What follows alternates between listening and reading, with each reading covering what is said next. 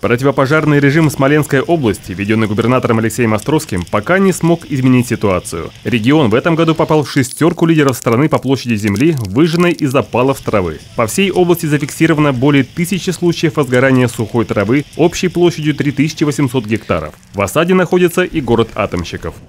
Новый пример преступного пренебрежения элементарными правилами безопасности. Борьба с огнем ведется на окраине Десногорска. 23 апреля на пульс спасательной службы поступил вызов о возгорании сухой травы. Результатом случайности или злого умысла в этот раз могла стать настоящая катастрофа. Есть угроза автозаправки.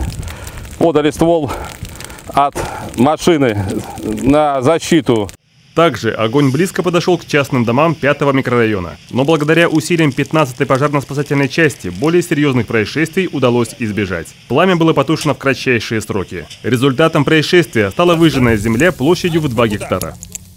Попрошу людей города Десногорска, чтобы не поджигали сухую траву, потому что где-то сухая трава, где-то может быть несчастный случай, дом или квартира, а там может быть люди.